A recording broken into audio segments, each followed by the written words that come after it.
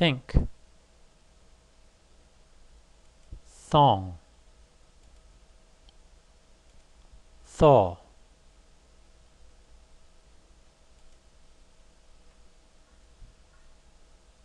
The tongue tip comes between the upper and lower teeth.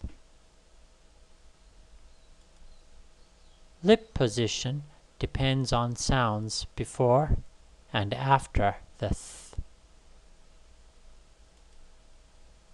There is no voice. This part is closed. Air forced over the midline of the tongue and through the teeth produce the th sound.